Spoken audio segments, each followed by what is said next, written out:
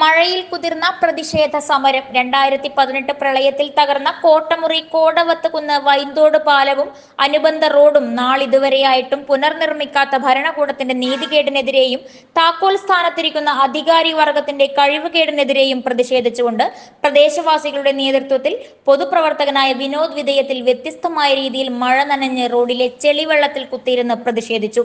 പ്രതിഷേധ സമരം മുതിർന്ന കോൺഗ്രസ് നേതാവ് എ ആർ രാധാകൃഷ്ണൻ ഉദ്ഘാടനം നിർവഹിച്ചു. രണ്ടായിരത്തി പതിനെട്ടിലെ പ്രളയത്തിൽ തകർന്ന റോഡും പാലവും പുനർനിർമ്മിക്കാനുള്ളത് കേരളത്തിൽ ഇവ മാത്രമാണ്. സമരമുഖത്ത് ജോയ് കോട്ടമുറി ടി സി ഗോപി ഷാജു വിധേയത്തിൽ ജോയ് മണി സെൻസൻ അറയ്ക്കൽ വിൻസൻ കാഞ്ഞുത്തറ ഷിബു ഭഗീരഥൻ ജോൺസൺ വഴുവേലി വർഗീസ് എന്നിവർ നേതൃത്വം നൽകി. രണ്ടായിരത്തി പതിനെട്ടിലെ പ്രളയത്തിൽ തകർന്നുപോയ റോഡും അനുബന്ധ പാലവും ഇത്രയും കാലമായിട്ട് പുനർനിർമ്മിക്കാൻ ഈ സർക്കാരിന് സാധിച്ചില്ല. ആയിരക്കണക്കിന് ആളുകൾ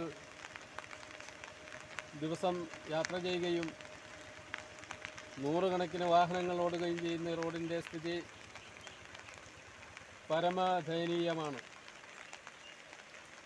പലവട്ടം